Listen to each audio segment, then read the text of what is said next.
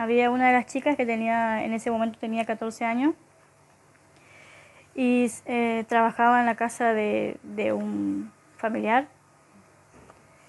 Eh, para mí no estaba bien que ella trabaje, porque estando en el hogar no pueden trabajar.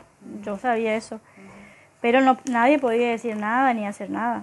O sea, eso era con la autorización la Claro, es solo Soña. Soña mandaba todo. O sea, ella, ella decía, le encerrar a los chicos y le teníamos que encerrar.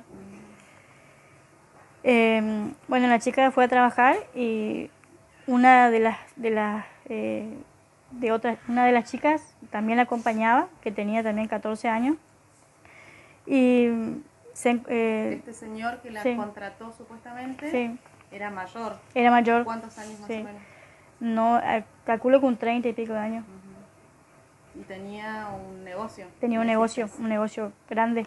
Una tienda. Sí. Ah. ¿Y ahí qué pasó? Y bueno, ella mm, nos enteramos de que el señor mantuvo relaciones eh, sexuales con la menor De 14 años. de 14 años y nos llamó a la ¿En oficina. dónde? ¿En su tienda? Eh, no, no, no, en su tienda, en su casa, en la en su casa. casa, sí, en su casa, donde trabajaba mm, la chica. Sí. ¿Y qué pasó? ¿Se hizo una denuncia? ¿Hay una causa? ¿Está preso? Yo hice una, no, yo hice una denuncia de que el, de que el señor eh, abusó de, de la chica, pero quedó todo ahí. Hice en la fiscalía, pero no se movió nada.